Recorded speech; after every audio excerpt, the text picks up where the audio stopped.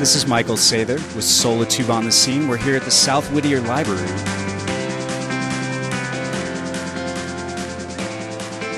Welcome to the South Whittier Library opening. The building is tracking to receive a Leadership in Energy and Environmental Design, or LEED, Platinum certification, the highest from the U.S. Building Green Council. To utilize, you know, fresh natural light with these lights just opens everything up so it's fresh, it's alive, it smells good, it makes you feel good, it's clean, it's beautiful. You all did a great job, and you have no idea the impact on the lives of people like this. We've had, as you can see around, uh, a lot of solar tubes in this library. It's a beautiful and very opportune way to allow natural light into the building. Right now, you can see not many of the lights are on, and you see how bright this space is. This is just a wonderful way to save energy so that we don't have to use a lot of light. In the long run, more people feel comfortable when they get natural light coming in as opposed to artificial lighting. It's a win win situation, and we're very proud and very fortunate and very happy to be using this system over here.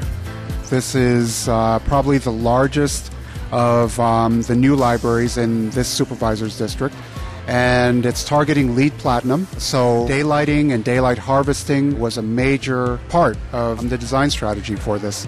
Solatube obviously played a huge role in that. Eric, uh, we noticed some of the wall-mounted diffusers and some of the other really creative applications of the Solatube products. Well, it was really an attempt to be to bring a little bit more daylight in and make it a little more playful. Play with some of the patterning ideas going on. There's this kind of circular patterning that goes on throughout the library at different scales. Sometimes, as in the case here with the end panels, it actually means something. So these are all written out in Braille. Actually, these are words like create, read, explore.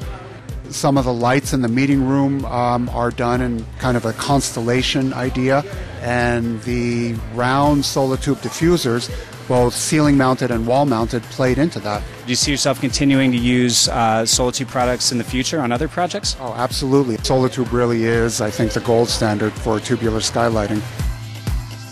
A project like this is just going to have an incredible impact on this community. Ladies and gentlemen, this is a day to celebrate.